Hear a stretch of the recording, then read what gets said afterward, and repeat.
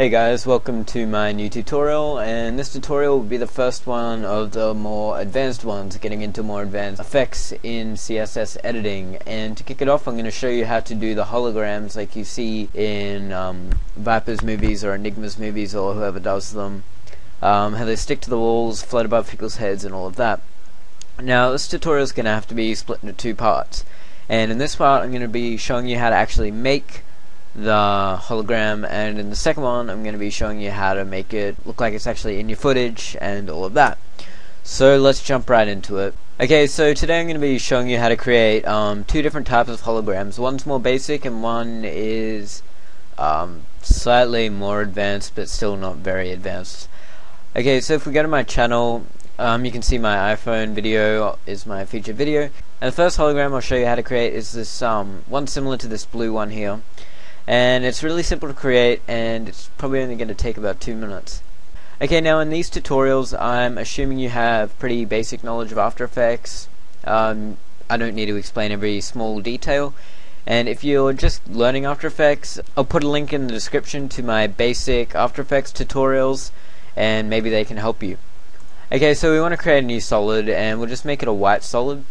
And we'll make it comp size and we want to name it say hologram. Now what we can do now is go up to our shape tool here, click and hold, and choose the rounded rectangle tool. Now we just want to, with our layer selected, we want to double click on that um, button there and it will automatically create a mask around the border.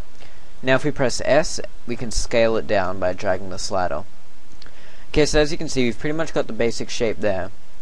What we can do now is press T and drag the opacity down to fade it out. Now we can duplicate this and then press S again and scale that one down a bit more. Press T and make that one a bit more visible. Still not too visible.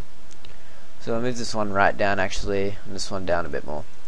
Okay so as you can see we've pretty much got the whole shape there and I'm going to just show you how to make text and make it look a bit better. So grab your text tool and you can type whatever you want. So just scale this up and type Infuzed Media. Okay now the text I'm using is Helvetica I mean the font, but you know what I meant. Alright, so you can position that. And then if we just grab our text tool, scale it down, you know, we can just paste all this random text that I got off the internet. Uh, if you just type in like random text generator, this stuff comes up and it just makes it look like you got a lot of stuff going on, but you really don't. And I don't have a clue what any of it says. Alright, so that should be enough.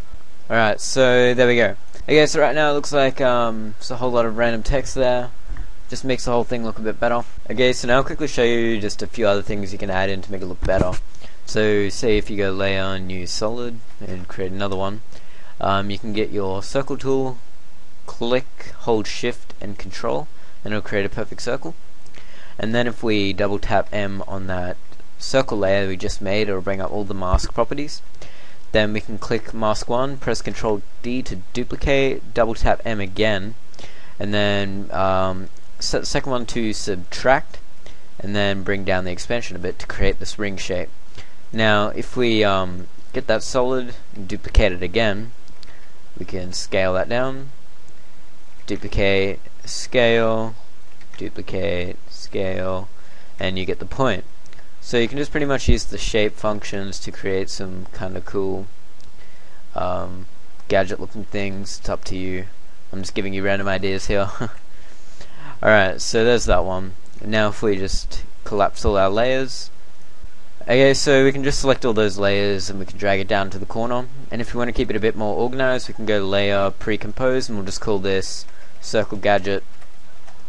Then we can just go ahead and scale that down um, you know just put it wherever looks cool. Um, and then we can say pre-compose all of our layers together. So layer pre-compose except for your footage obviously and we'll just call this hologram 1 and now what we can do is we can change the blending mode. If you can't see the blending mode here you can press F4 or click toggle switches. And you can set it to say overlay which will make it look like that. Or you can set it to add which will make it kind of glow and stuff or you can set it to screen or you can just lower the opacity Uh, it's really up to you. Try them all out and see how you go, I guess.